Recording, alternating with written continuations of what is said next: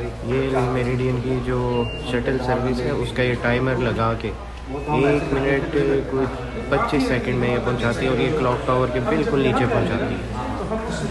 ये इनका अपना रिकॉर्डेड टाइम है। ये इनकी टनल्स हैं, इधर से ही सीधा जाते हैं।